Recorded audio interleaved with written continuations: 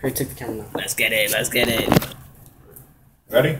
What's our Platoon. Uh, good afternoon. Um, today I want to inform you guys of a uh, special topic that I personally feel is um, not getting enough attention in today's world. With you know so much things going on, that is it's kind of relevant too. Um, I want to talk about the U.S. prison population and how it's so high. Um, it's actually higher than any country in the world, including China and Russia. And even though the U.S. only makes up um, 5% of global population, it, it holds 25% of the prison population in the world.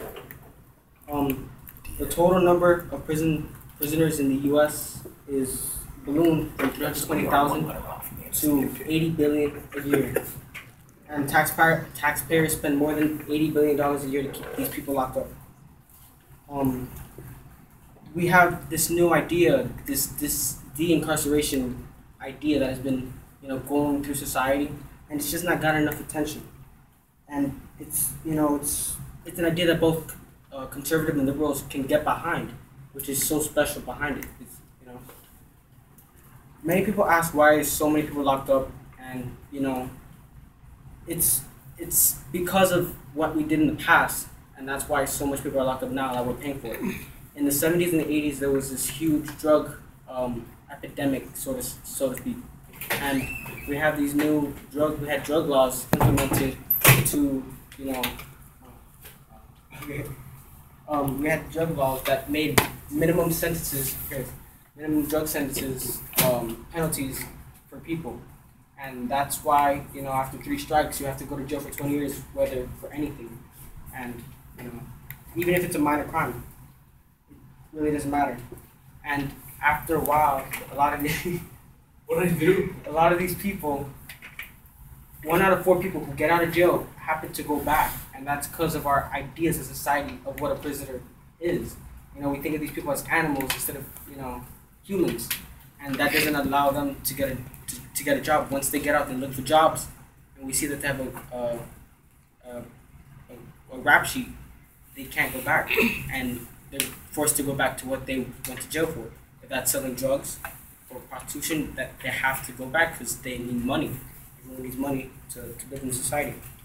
Um, some people say, what are the solutions? And right now, to implement it, it's, you know, implement a solution is not so easy, so to speak.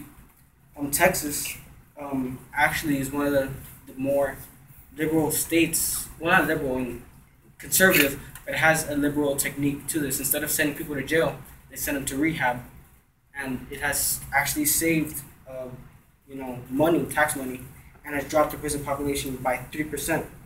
And they have started closing prisons now for the first time in 160 years. Now other states are following their president, and that's it's it's remarkable to think that this much change has, has brought so much you know differences. Um, uh, many people like uh, Texas and uh, Kansas they have done the same thing. Hawaii has brought this new program where elders of the older people they they go to jail and they they're allowed to leave early because of their age, and you know they're probably not gonna do anything because they're older.